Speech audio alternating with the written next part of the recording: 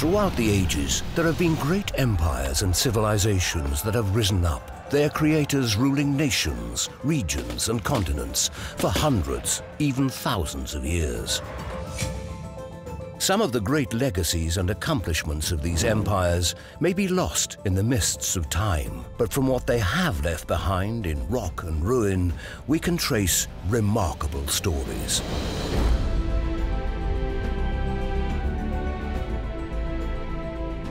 In this episode of Empire Builders, we explore the historic legacy of three of Europe's greatest powers, the French, Russian and Austrian Habsburg empires, whose royal palaces, cathedrals and other great buildings of the 16th to 20th centuries are some of the world's most remarkable and spectacular cultural monuments. We have to remember that the Habsburg dynasty is probably the most successful European dynasty. Um, it's there for about 500 years or more it easily outstretches the French and equivalent Russian dynasties. It's probably really not a very sensible thing to uh, work out a league table of the great cultures or great civilizations and the impact they've had on history, but were one to do that foolish exercise, certainly France would be up there, no question of a doubt the history of you know, imperial Russia teaches us both about the success of monarchies, but also about the way in which monarchies fail. The Russian monarchy was sowing the seeds of its own destruction.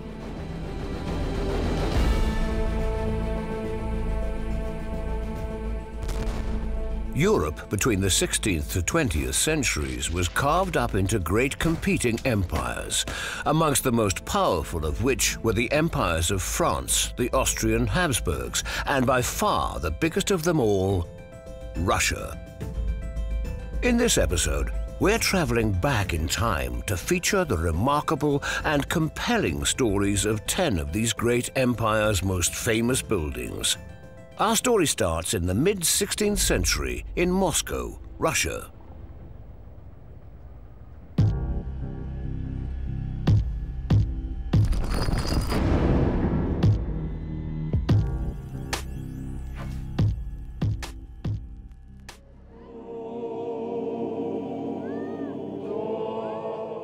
Located on Red Square, just outside the Kremlin, St. Basil's Cathedral, with its spectacularly colorful domes, is one of Russia's most iconic buildings. St. Basil's was built in the mid-16th century by Ivan IV, otherwise known as Ivan the Terrible, just after he proclaimed himself the first Tsar of all the Russias, a title adopted by all his successors until the Russian Revolution in 1917. This cathedral was erected by the order of Ivan the Terrible in 1552 until the beginning of 17th century. It was the highest building in Russia. A bird's eye view gives the best idea of the cathedral's unique design.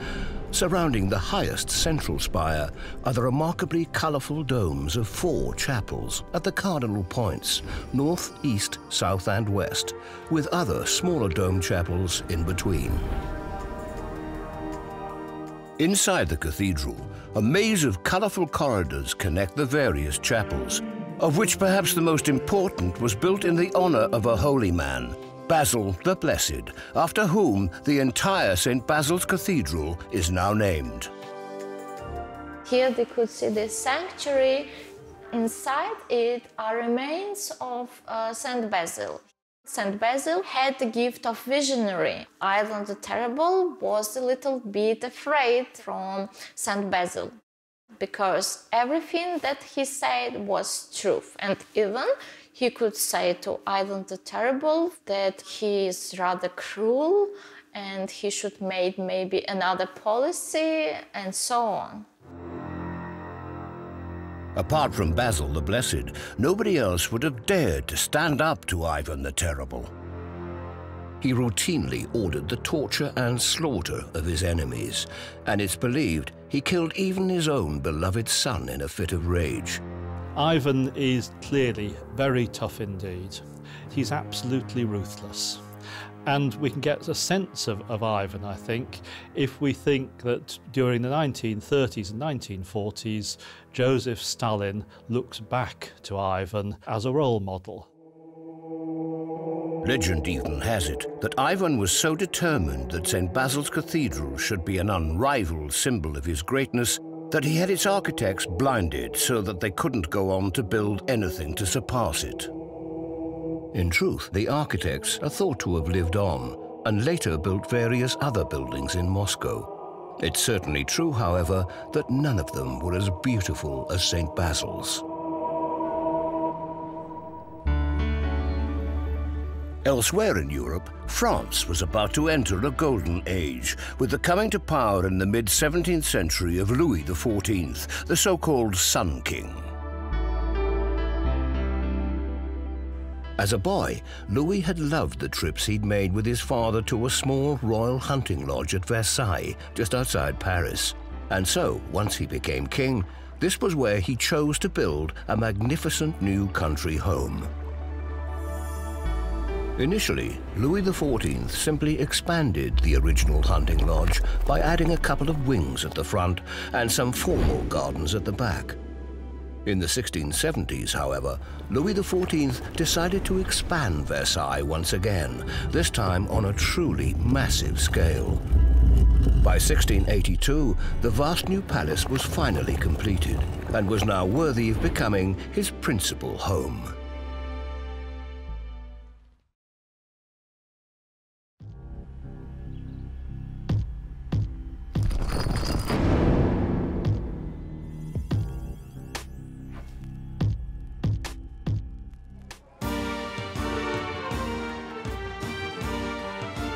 Located just over 10 miles outside Paris, the extraordinarily grand Palace of Versailles became not only Louis XIV's principal home from 1682 onwards, but also the seat of the French government.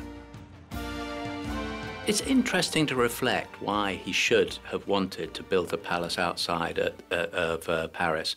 He had a perfectly serviceable, in fact, a rather brilliant palace in uh, Paris, which was the Louvre.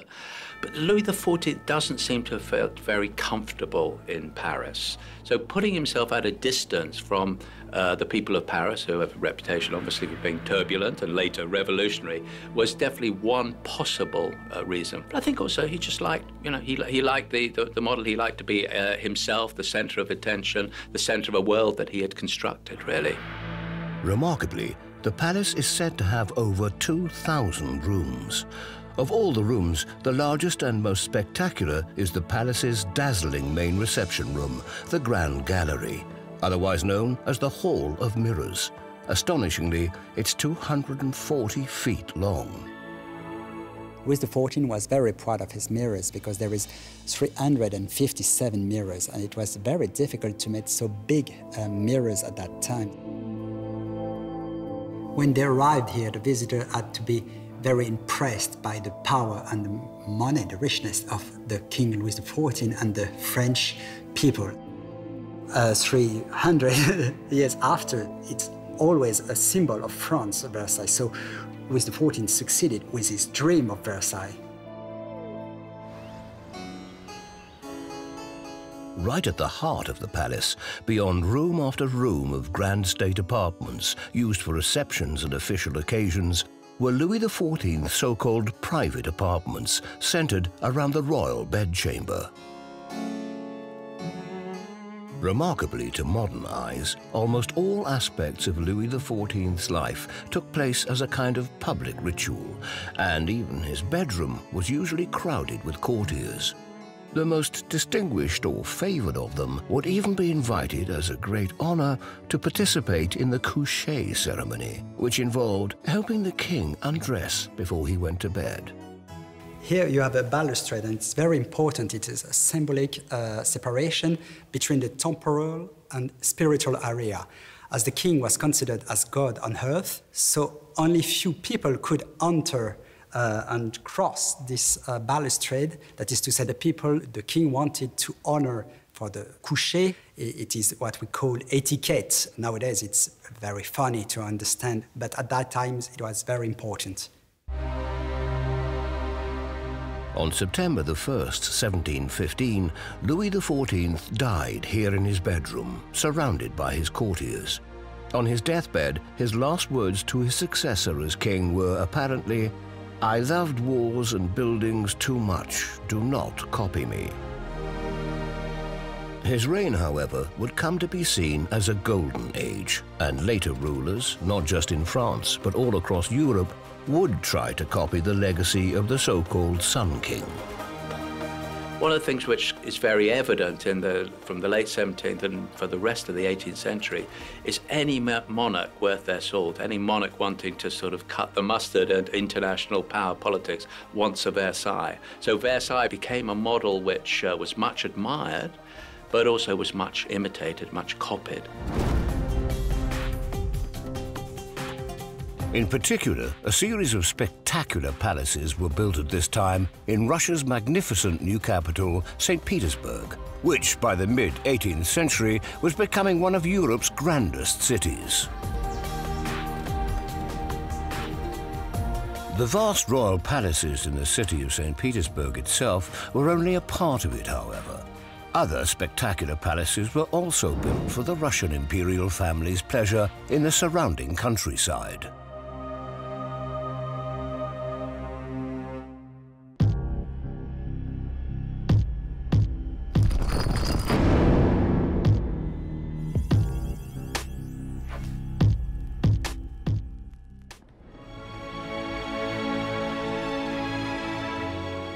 Located 20 miles or so out of St. Petersburg, the exquisite Catherine Palace, as we see it today, was built in the 1750s by Peter the Great's daughter, Empress Elizabeth I, for use as her summer residence.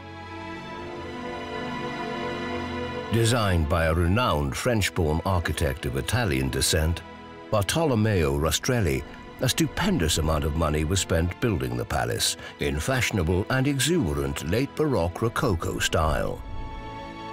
With money no object, the vast new palace, although over a thousand feet long, was completed in just four years.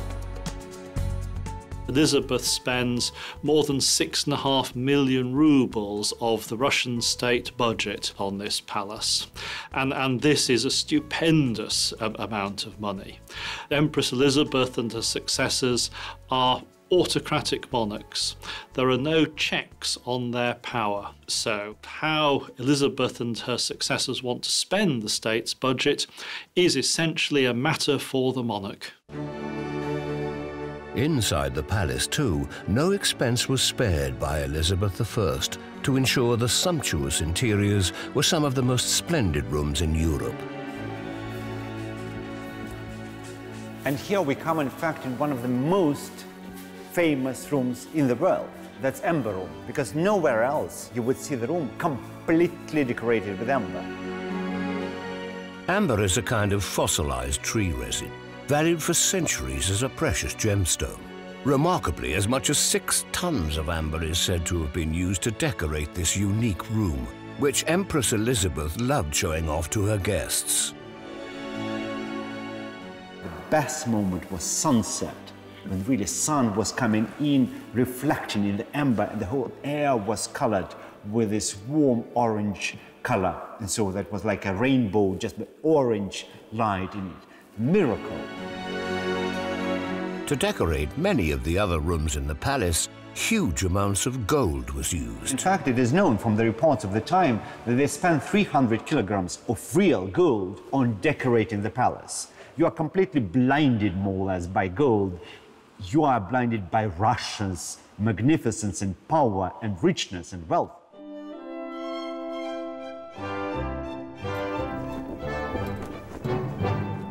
The biggest room in the palace is the enormous Great Hall, which occupies the entire width of the palace and is over 150 feet long.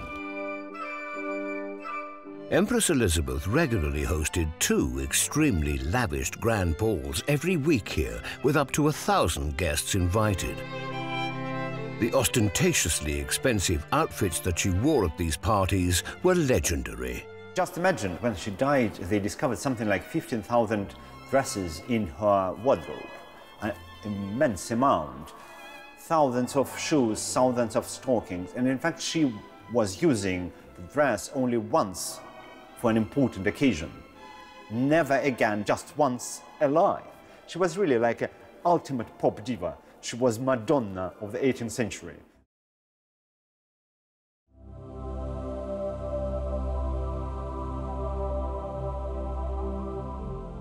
In general, Russia's imperial rulers were shockingly extravagant, but perhaps no more so than the French monarchy at their dazzling palace of Versailles, or other great European royal dynasties, such as the Habsburgs. In the mid-18th century, the Habsburg Empire, centered on its resplendent capital of Vienna, was enjoying a flourishing era of high culture and fabulous prosperity. At the height of this golden age, the Habsburg throne was inherited in 1740 by a young and ambitious empress, Maria Theresa, who almost immediately set about building one of Europe's most grandiose and magnificent palaces in the countryside outside Vienna.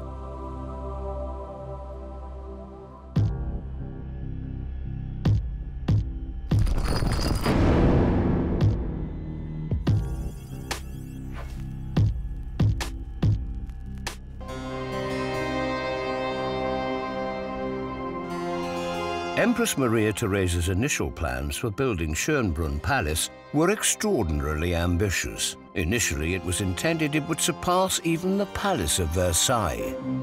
And it was thought of as a kind of super Versailles. This should absolutely outstretch Versailles in terms of the, um, the grandeur, the magnificence of it, and the gardens, the park, etc.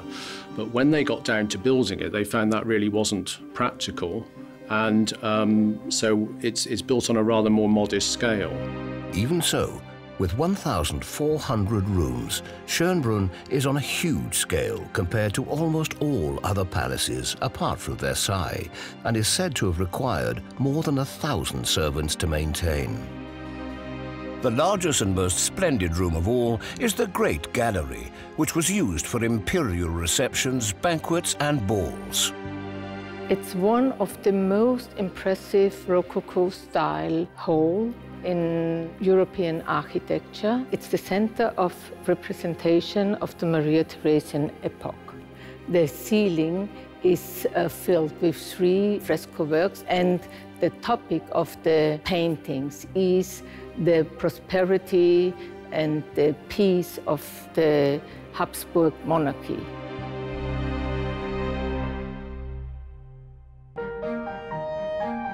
In addition to its sumptuous interior decoration, Schönbrunn Palace was renowned amongst all the royal courts of Europe for its rich cultural life. At the invitation of the Empress, it was here at Schönbrunn that the six-year-old child genius Mozart launched his musical career, performing for the royal family.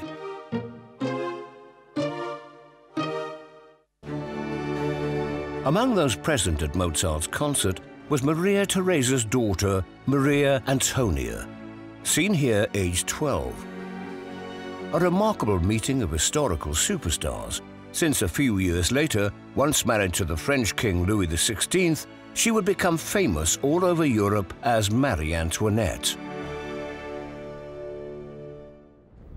In France by the late 18th century, however, revolution was in the air. The self-indulgent and highly extravagant lifestyle of King Louis XVI's court at Versailles made the royal family dangerously unpopular, especially his famously spendthrift new wife, Marie Antoinette. Of course, the behavior of the French court wasn't that different to the luxurious life enjoyed by all European royal families over previous centuries. But by the end of the 18th century in France, public expectations had changed. There's a growing intellectual movement uh, linked to the Enlightenment, much more rational, much more critical, uh, view of the way in which society and politics is organized. And the sort of criticism that the king and queen are getting definitely reflects a change of perception, if you like, uh, of what's going on as much as a change in what is actually going on. Isolated out here in tranquil Versailles from the rebellious public mood in Paris, it was Louis XVI's misjudged attempt to raise more money by introducing new taxes that finally sparked a full-scale uprising in 1789, the French Revolution.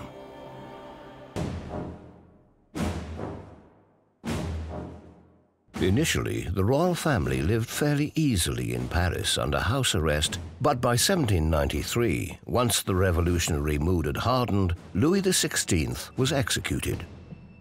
And Marie Antoinette was imprisoned awaiting trial in the revolutionaries' most fearsome prison of all.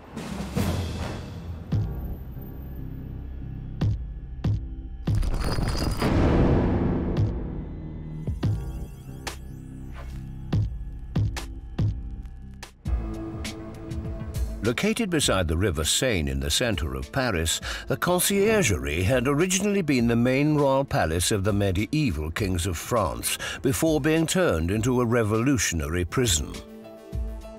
Apart from Marie Antoinette, thousands of other political prisoners were incarcerated here while awaiting trial before the Revolutionary Tribunal. In 1793, when she's there, it's sort of extraordinary sort of human zoo of uh, suffering and uh, uh, extremes, really, because you've got very, very grim conditions for people, uh, psychological mood uh, of just, you know, rock bottom morale. You know, people are expecting to uh, not to survive, essentially. Today, one of the rooms in the conciergerie commemorates those who were imprisoned here during the so-called Reign of Terror from 1793 to 1795. On these walls, you have the name of the more 4,000 people who have been judged by the Revolutionary Court. In black are inscribed the names of people who have been condemned to prison or released. And in red, the names of people who had been sentenced to death. Surprisingly, perhaps, a significant proportion of those who were imprisoned in the conciergerie were women. So we are now in the women's courtyard of the conciergerie. This place hasn't much changed the, since the end of uh, the 18th century. And at night, women used to sleep in their cells, but during the day, they came here, gathering, walking, talking, washing their clothes, um, and eating, of course. On the first floor, wealthy women were kept because the cells were bigger, while on the ground floor, there were the poor women, except for Marie Antoinette. You can see the window of her last cell there.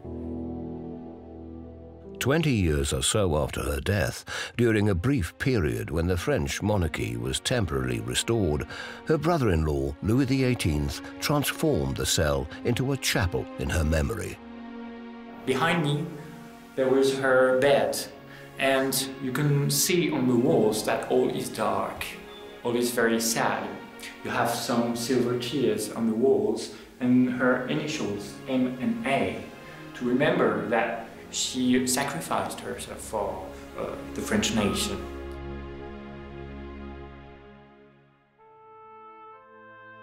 After more than two months in prison, on the 14th of October 1793, Marie Antoinette was taken for trial before the Revolutionary Court. Found guilty of treason, Marie Antoinette was sentenced to death and taken from the court in an open cart through Paris amidst jeering crowds to be executed in the Place de la Concorde, then known as the Place de la Révolution.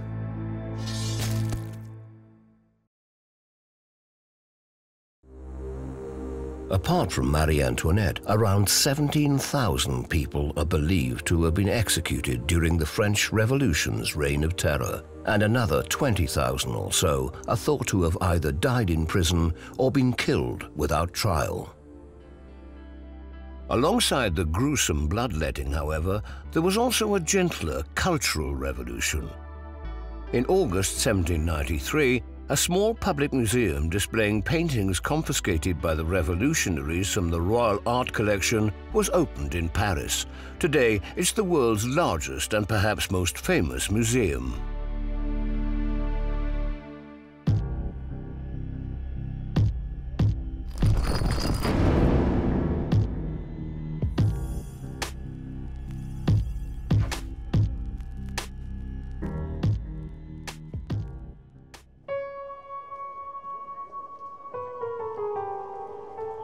Located in the heart of Paris, the extremely grand Louvre Palace was originally the French monarchy's main residence during much of the 16th and 17th centuries. Once it was appropriated during the French Revolution for use as a museum, the number of artworks on display was initially just 700 or so. The museum's collections soon expanded dramatically, however, following a coup d'etat in 1799 led by the French Revolution's greatest military leader, Napoleon Bonaparte. Napoleon is a fantastic self-propagandist, and quite early on he sees the potential of the Louvre to add to his glory. As the result of a succession of military triumphs abroad, which brought him huge popularity and the title of consul or dictator for life, Napoleon began filling up the Louvre with numerous world-famous artworks that he'd seized as the spoils of war from Egypt, Italy, and elsewhere. It was at this time that the new director of the museum, a man called Vivant Denon, who was also a consummate courtier, uh, told Napoleon, wouldn't it be a good idea if we named this museum after you, sir? And of course, uh, Napoleon said, good idea. Uh, so at that point in 1803, the museum, this Musée Central des Arts, Central Museum of Arts, became known as the Musée Napoléon, the Napoleon Museum. By the following year, Napoleon had decided that the title of consul or dictator for life was no longer grand enough to match his exalted status. And so in December 1804, he had himself crowned Emperor of the French. On hand to record Napoleon's coronation was France's most famous painter of the era, Jacques-Louis David. Napoleon loved this picture, uh, famously said, oh, look at this picture, you walk in this picture, it's fantastic. And it is incredible. You can see all of the individual faces. David famously adds Napoleon's mother. Napoleon's mother wasn't there, she was with his brother, Lucien. It's almost like Napoleon has painted his mother in so he can say, look at me, Ma. After Napoleon's coronation as emperor, more military victories followed, which were celebrated by the building of the Arc de Triomphe and other great triumphal arches across Paris. But then, Napoleon made a huge mistake. In June 1812, his massive army, numbering over half a million men, attacked Russia Uh, Napoleon is an utterly ambitious ruler. He believes that he's there to spread French revolutionary zeal as far as he possibly can. And in particular, you know, Central and Eastern Europe appear to be the most backward, benighted parts of the continent. These are the parts of the continent that, that need French virtue imposing upon them. Initially, things looked like going well for Napoleon. His troops won a series of battles against the Russians, and by September, Napoleon was able to lead his army into Moscow and set up his headquarters in the Kremlin. But the onset of the ferociously cold Russian winter changed everything, and by October, Napoleon's great army was forced into ignominious retreat back towards France.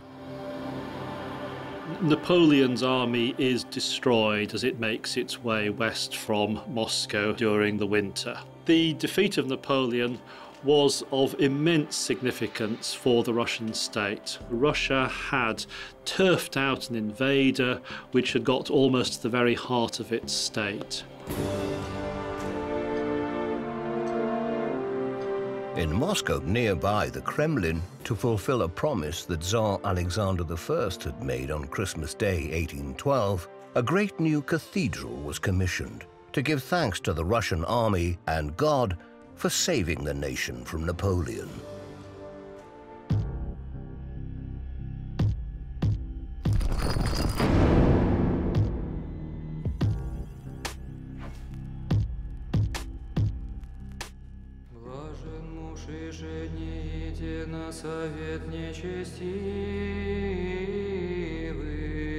This was the original plan for the cathedral, but when Tsar Alexander died in 1825, the new Tsar, Nicholas I, so disliked its neo-classical style that he overturned the decision. Instead, Nicholas I chose this design, with its five orthodox domes harmoniously arranged in a very Russian style, which he thought much more appropriate for a patriotic building project. The work of turning the new design into reality finally began in 1839 and took more than 40 years to complete. Built beside the Moscow River at nearly 350 feet high, the spectacular Cathedral of Christ the Saviour is still today said to be the tallest Orthodox Christian church in the world. Its size and grandeur is symbolic. For Russians, the defeat of Napoleon's invasion is second only in historic significance to the defeat of invasion by Nazi Germany during World War II. Now we're in the corridor of uh, military glory in the Cathedral of Christ the Savior. Here you can see the memorial plaques, which uh, telling uh, the story of the Patriotic War of 1812. Altogether, there are 155 memorial plaques uh, describing every single battle which was given to Napoleonic army during that patriotic war. In first place, there's uh, the name of the city, village, or place where the battle was held. Then who was in commander uh, in that battle and what regiments participating, who were killed, wounded, and awarded after the battle. The cathedral, built in the soldiers' honor, is magnificent, but surprisingly, it isn't the original one. It's a replica completed in the year 2000. After the revolution of 1917, all religions were prohibited by the government of the Soviet Union. And they started with Moscow churches. They demolished them with explosions. And our church, the Cathedral of Christ the Savior, was also exploded in December of 1931. Remarkably, on the site of the demolished cathedral, Stalin intended to construct what would then have been the world's tallest building. The 100-story high palace of the Soviets was planned to rise to over 1,300 feet, plus a huge 300-foot statue of Lenin at the top. Building work did in fact start with the laying of foundations but the extraordinary project had to be stopped when Germany invaded Russia in the Second World War. Half a century later, however, the collapse of the Soviet Union opened up new possibilities in the 1990s. In the end of the Soviet power, people decided to reconstruct their memory, traditions, and history. Fortunately, very many pictures and documents were found about the cathedral, and during five-year period, everything was uh, rebuilt again. The church was consecrated to the name of Christ the Savior in the year 2000. To rebuild the cathedral, the cost is estimated as uh, 800 million US dollars. One of the many curiosities of the Cathedral of Christ the Savior is that the construction of the original cathedral in the 19th century was on such a grand scale that although it was built to celebrate the famous victory over Napoleon in 1812, it was still being built in the 1850s, by which time Russia was being disastrously defeated in the Crimean War by an alliance of the Ottoman Empire, Britain and France. The main reason for this defeat was that by the mid-19th century, other European nations were modernizing much faster than Russia, which made a big difference, not just on the battlefield, but also back at home.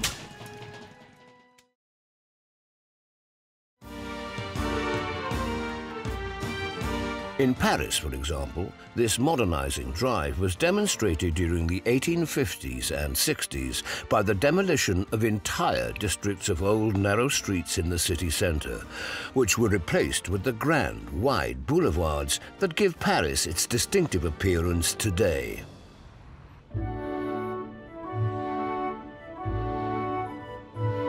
Elsewhere, the Habsburg Empire's ancient imperial capital, Vienna, was also completely redeveloped at this time. Remarkably, right up until the 1850s, Vienna's city centre was unchanged since medieval times, enclosed by massive city walls and surrounded by an ancient moat that had been filled in to create parkland. A new, modern city was starting to grow up around it, but completely cut off from the maroon city centre. Redesign was crucial if Vienna was to enter the modern age. So in 1857, the Habsburg Emperor Franz Joseph ordered the demolition of the old city walls and the construction of a grand new circular boulevard in place of the old moat. To beautify the new inner ring road, a series of grand, opulent buildings were constructed all along it from the 1860s onwards.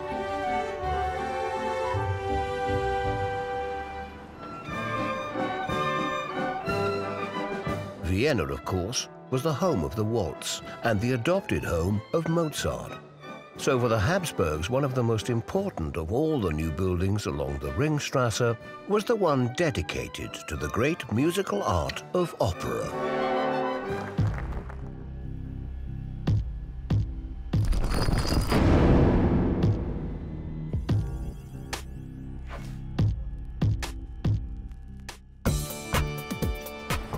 Uniquely among the Ring Road's major buildings, the Opera House was built in neo-Renaissance style, with harmonious geometrical arches and columns. This particular architectural style was chosen since it was during the Renaissance that opera originated in 16th century Italy. What impresses me the most every time I walk into that opera is the symbolism everywhere. It's just uh, magnificent. For example, look here on the balustrade, you see the initials of Emperor Francis Joseph.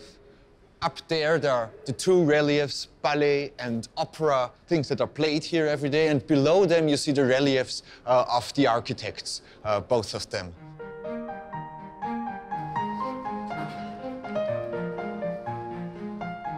Here, this is the private tea salon of Emperor uh, Francis Joseph. You can see all over his initials, for example, on the top above the mirror, FJ1. Here you can also see the two-headed eagle. The double-headed eagle was the coat of arms of uh, the Holy Roman Empire, uh, which existed until the year 1806. Two years before then, uh, the so-called Austrian Empire was established, and uh, the Habsburgs used that coat of arms again.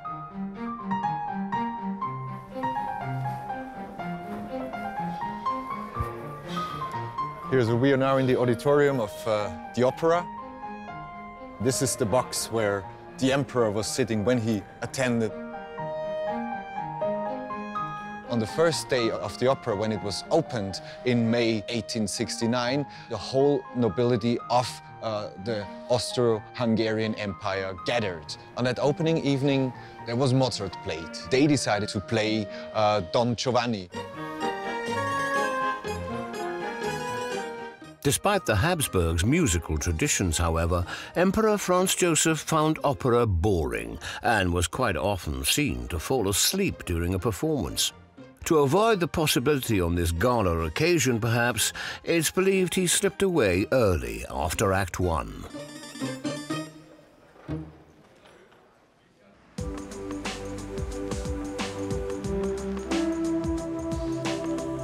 Surprisingly, the Opera House itself was also unpopular amongst the general public as a work of architecture. People did not like it. The main reason was because of the street level of the Ringstrasse. It looked like a bit sunken. And all the other buildings, uh, if you look on the ring road, they have ramps where you uh, go up to the palace of politics, to the palace of culture. But to the palace of music, there is no ramp the criticism from the Viennese, from the people here in the city, made uh, Eduard van der Nul so sad that he actually committed suicide. Sicardsburg uh, died a few weeks later uh, on a heart attack or tuberculosis. It's not 100% sure. Actually, maybe because of a broken heart, because he lost his life partner and architect friend.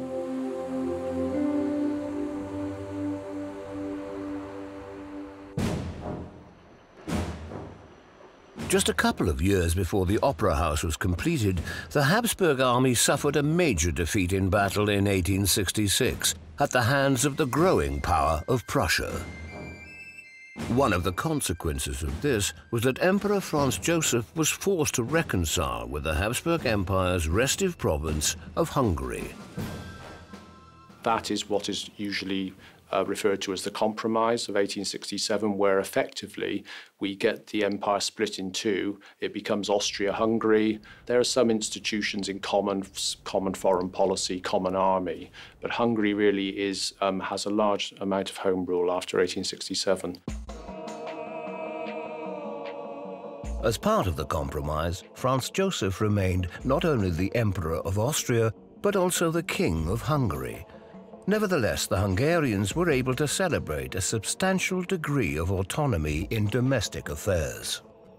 To honor this momentous occasion in Hungary's history, an architectural competition was launched to design an appropriately magnificent new parliament building to be built in the capital, Budapest, beside the Danube. When there were plans to build this, the Hungarian Prime Minister, who was usually quite a thrifty person, basically said, no, we should spare no expense on this. We've got to produce a building which will impress both our friends and our enemies.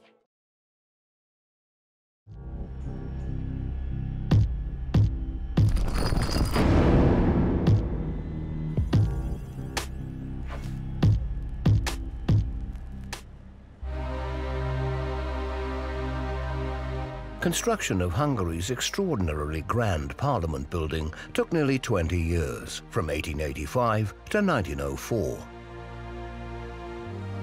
Displaying an exceptionally harmonious mix of different architectural styles, the centerpiece of the beautifully proportioned building is a great Renaissance-style dome rising over 300 feet high. Most of the rest of the building, inspired by the British Parliament, is designed in Gothic style. At around 900 feet long, remarkably, at the time of its construction, this was the world's largest Parliament building. The inside of the vast Parliament building is as grand and magnificent as the outside, and was decorated by many of Hungary's foremost artists and craftsmen of the era more than 40 kilograms of gold was used in order to lavishly gild the building's interior.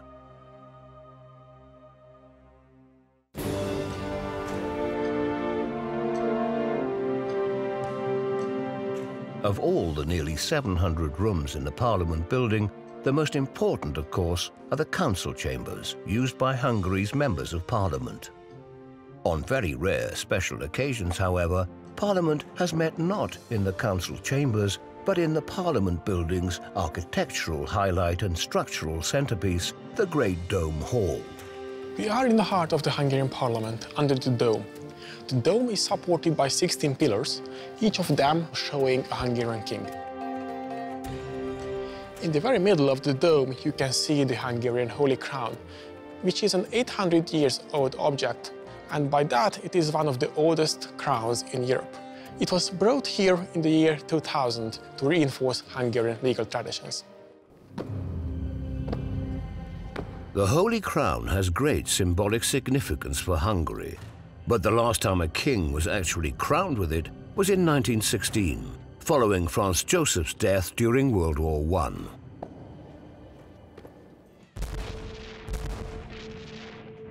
As it turned out, Franz Joseph's successor as Habsburg Emperor and King of Hungary ruled for just two years until 1918, when the Austro-Hungarian Empire and their allies Germany finally lost World War I. The result of this crushing defeat was not only the abolition of the Habsburg monarchy, but also the total disintegration of the once great Habsburg Empire. As things transpired, World War I would also be a very significant factor in the demise of the Russian Tsars. The stage for many of the most dramatic events of the Russian Revolution in 1917 was the Tsar's vast royal palace at the heart of St. Petersburg.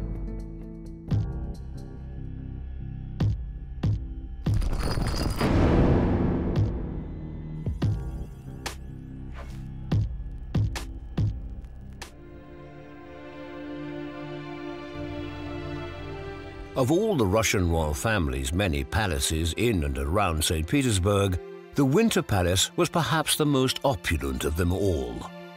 Dwarfing many of the greatest palaces in other European empires, the spectacular Baroque facade of the Winter Palace, decorated with grand, imposing statues and embellished with the finest stucco work, is over 800 feet long.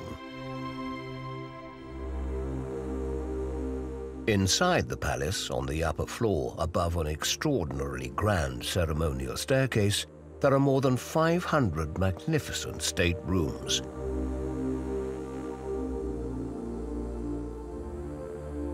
Here, from the great throne room, the last of the Tsars, Nicholas II, who inherited the throne in 1894, ruled over the vast Russian Empire as the last of Europe's supreme monarchs with absolute powers.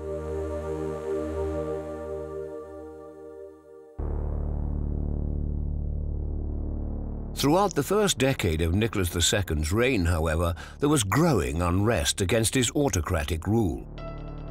And so, to try to avert full-scale revolution, he agreed to allow Russia's first elected national parliament to be set up.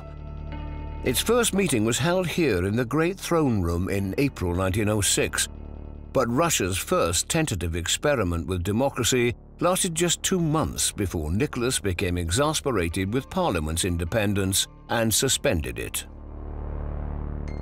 The problem of Nicholas II as a personality was that he couldn't cope with the idea that people are elected and then they express people's opinion how to develop the country, how to solve this or that problem. He couldn't accept it. He was still the only ruler of the country. And that's why 12 years later, full Russian revolution took place and destroyed it all completely and swept away all that country that existed before that. The catalyst for full-scale revolution was World War I. The deaths of millions of Russian soldiers in battle, combined with anger at Nicholas II's failure to accept democratic reforms, led to the mutiny of numerous army regiments in St. Petersburg in March 1917.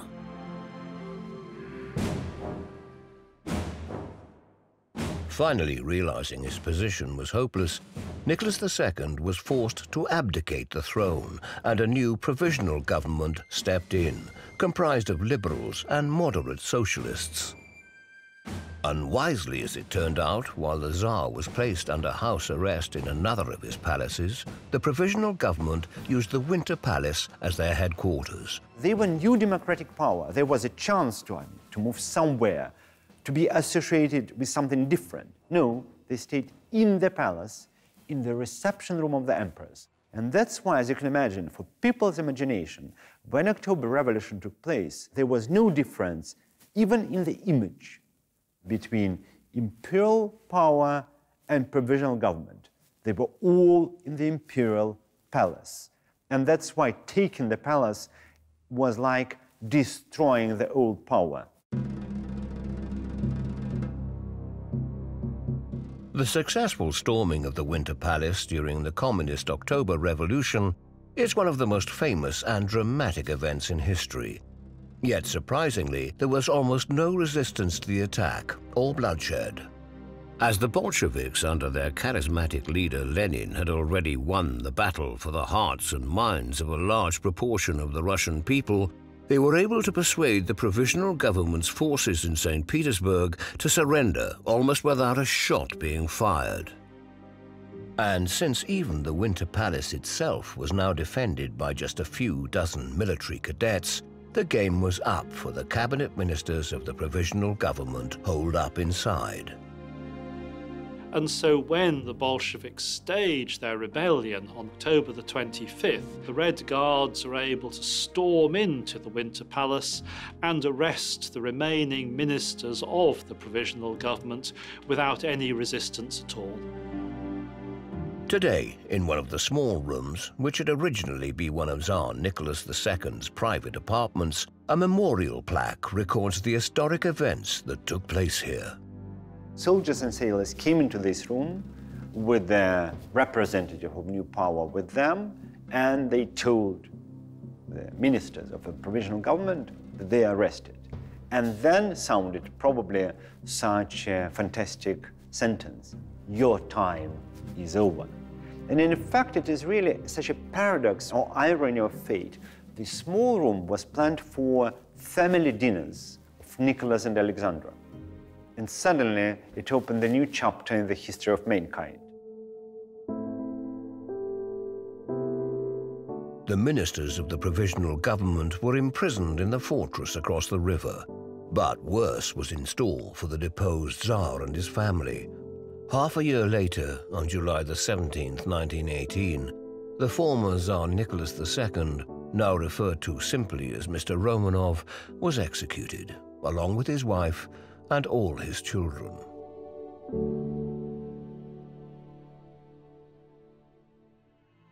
The execution of the former Tsar of Russia and his family was not only a pivotal moment in Russian history, ushering in 70 years of communist rule, it was also the final nail in the coffin for the autocratic imperial dynasties whose great empires had once held sway over a vast proportion of Europe. Napoleon's French Empire, the Austrian Habsburg Empire, and now the Russian Tsars were all consigned to history. And the age of empire was over.